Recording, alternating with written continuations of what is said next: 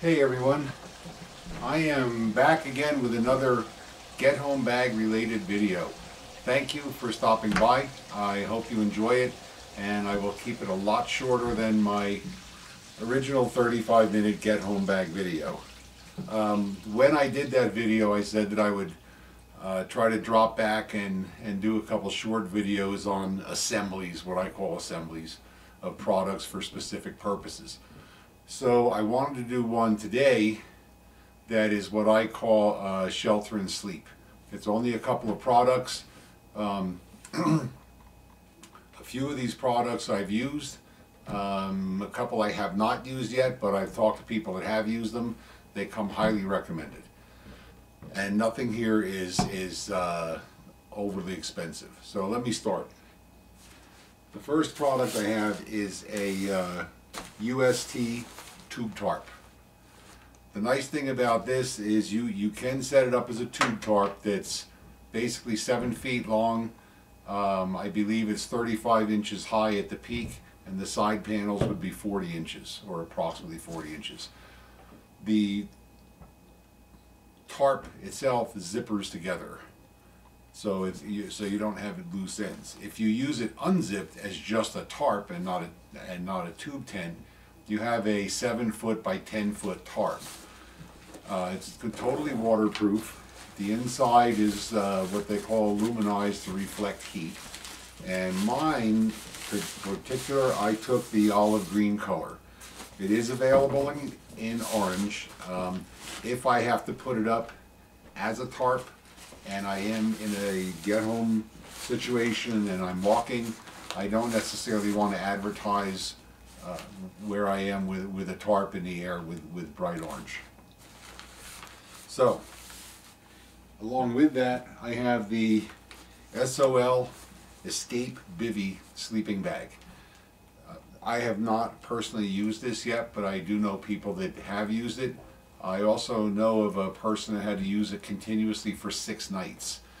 Um, what's it's not single use, so that we we've already determined that. The inside of it is 70% heat reflective. It is totally breathable. You're not going to wake up in the morning in your own sweat. Uh, it's water resistant, not waterproof, so you do need a shelter. But look how small this thing packs, uh, and and lightweight. I mean, this is a featherweight. Aside from that, I carry paracord, but it's, it's primarily if I'm going to put up a if I'm going to put up a, tarp. Let me backtrack a little. On the tube tarp, the tube tarp does come with stakes and it does come with guy lines, so you can to, to help you get it set up. This is my um, this is my spool tool. I've had this for quite a while. I found out about them, and when they first came out, I got this.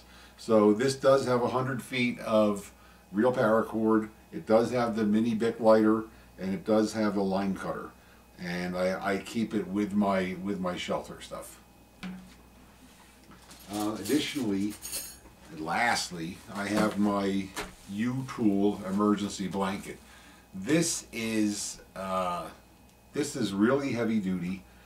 The typical ones that you see made by another company they're uh, they're basically it, this is not one of the thin single layer mylars. This is not a three layer. This is a five layer. Five layer. Uh, the inside is totally reflective, as you can see. When you go to the corners, you've got the uh, grommets, and they are sewn in with fabric and sewn in, so you're not just pulling on on this product.